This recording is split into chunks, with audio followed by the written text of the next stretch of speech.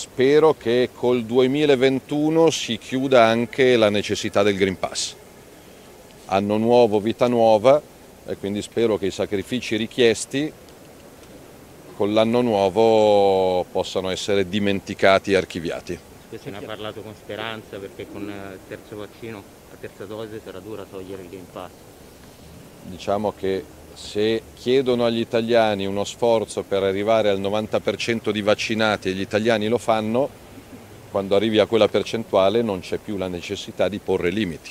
Quindi la speranza è che col primo gennaio, anno nuovo, vita nuova, che significa libertà di andare a lavorare senza restrizioni o certificati. Secondo Di Maio il voto